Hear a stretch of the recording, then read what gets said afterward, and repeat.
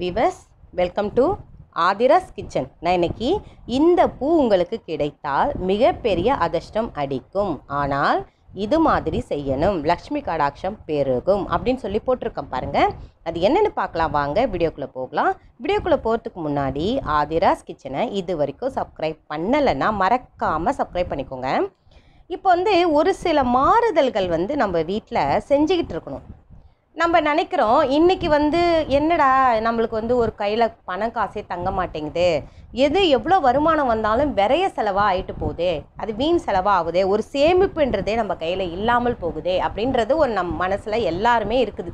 எல்லாருமே அதுக்கான கேள்வியும் என்கிட்ட கேட்குறீங்க ஒரு நகையை வச்சு அதை மீட்கவே முடியலமா அப்படின்னு சொல்கிறீங்க அதுக்கெல்லாம் நம்ம ஒரு சில மாறுதல்கள் நம்ம வீட்டில் செஞ்சுக்கிட்டே இருந்தோம்னா மிக மிக நல்ல ஒரு அதிர்ஷ்டம் அடிக்கும். அது என்னன்னு பார்த்தீங்கன்னா இந்த பூ அப்படின்னு நான் போட்டிருக்கேன்னா இதுக்கு இந்த பூ வந்து என்னென்னா தாமரை பூ இந்த தாமரை பூ வந்து இதில் வந்து அல்லிப்பூ ஒன்று இருக்குது. ஆனால் நீங்கள் வந்து பூ க பூ விற்கிற கடையில் வந்து சொல்லி வச்சு நீங்கள் வாங்குங்க. இப்போல்லாம் நிறைய தாமரை பூ கிடைக்குது. ஏன்னா தாமரையை பயிரிட ஆரம்பிச்சிட்டாங்க. அந்த தாமரை மணிக்காகவும் தாமரை பூக்காகவும் பயிரிட ஆரம்பிச்சிட்டாங்க. அதனால் இந்த தாமரை பூ தான் எனக்கு வேணும் அப்படின்னு சொல்லிட்டு அட்லீஸ்ட் ஒரு நாள் வெள்ளிக்கிழமை ஒரு நாள் மட்டுமாவது இந்த தாமரை பூவை நீங்கள் பூக்கடையில் சொல்லியிருந்தீங்கன்னா அவங்க உங்களுக்கு கண்டிப்பாக தருவிச்சு கொடுப்பாங்க.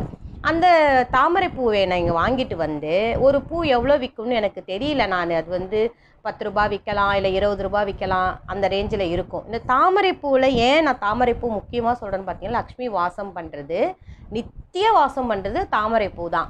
அதனால தான் இந்த தாமரை பூ கோலத்தை வந்து பூஜை அறையில் போடுங்க. ரொம்ப நல்லது நடக்கும் உங்களுக்குன்னு சொல்லிட்டு கூட நான் ஒரு வீடியோ போட்டிருக்கேன். அது ரொம்ப நல்ல நிறைய பேர் அதை அந்த வீடியோ பார்த்துருக்காங்க.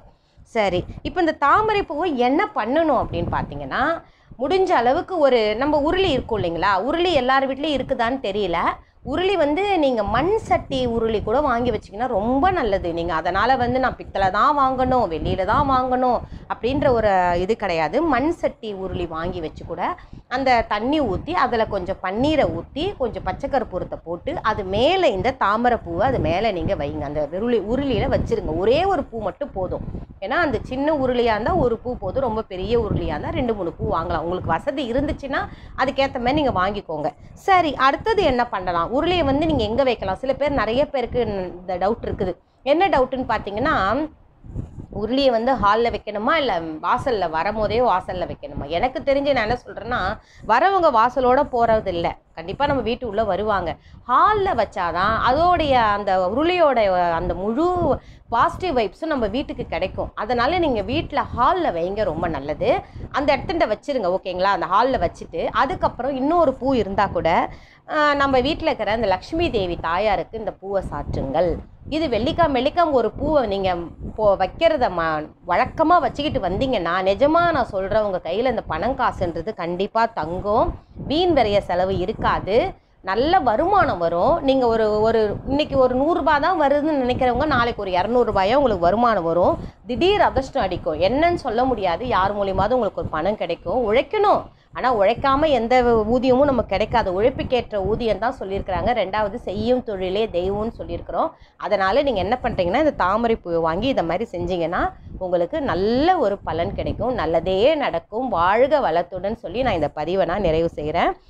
வியூவர்ஸ் என்னுடைய வீடியோ வாட்ச் பண்ணதுக்கு ரொம்ப ரொம்ப நன்றி. எனக்கு நல்ல ஆதரவு கொடுத்துட்டு வரீங்க. அதுக்கும் நான் நன்றியை தெரிவிச்சுக்கிறேன். இன்னொரு வீடியோவோட நான் உங்களை மீட் பண்ணுறேன்